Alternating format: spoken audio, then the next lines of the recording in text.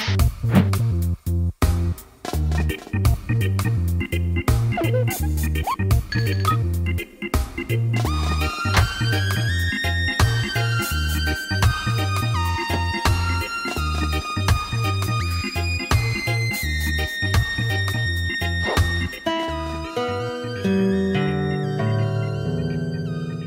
guys, it's Chema with another Bruno Mars tutorial. This is Young Girls. It sounds similar to some of his other songs. Is an A major, finger number 3 on the second fret on the second string. Finger number 2 right above it and 1 above it, that one. Next chord is C sharp minor. You're on bar the 5 bottom string with finger number 1 on the 4th fret. Finger number 2 next fret, second string. Finger number 3 skip a fret, 4th string. And finger number 4 right under that on the 3rd string. Next chord is F sharp minor. Looks like an F. Just move that one fret forward and take out the middle finger and that's F sharp minor.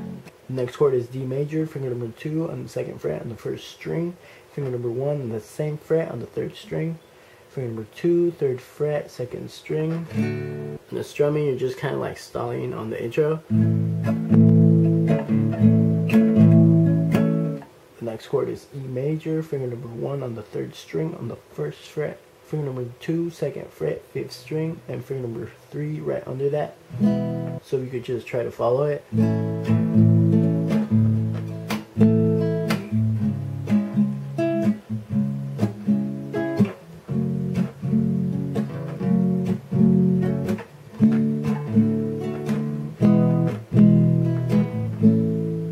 So it's pretty much the same thing when he starts singing. I spend all my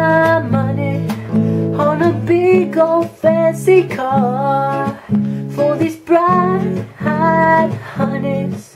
Oh yeah, you know who you are. Then you'll repeat it right there. So a little bit after that, the pattern changes a little bit, and you're gonna go to that D.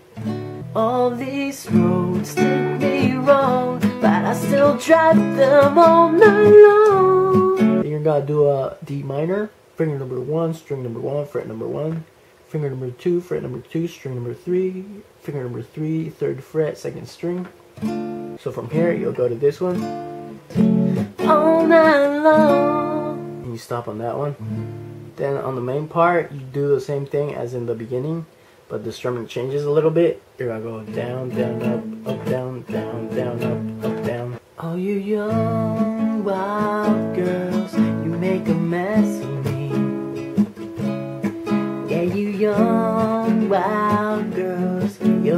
death of me, the death of me. All you young wild girls, no matter what you do.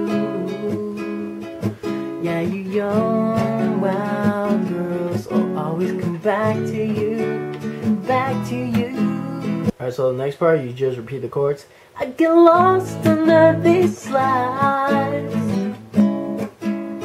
and you just repeat it.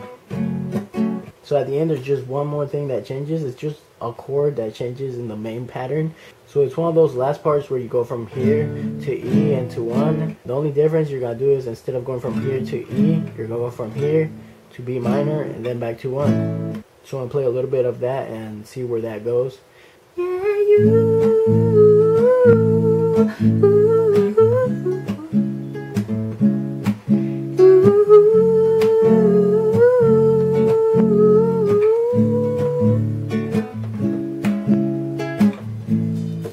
guys, that's basically it. Just follow it, you'll be fine. And again, thanks for watching this video. Subscribe if you haven't done so. And watch more of my videos. Alright, see ya.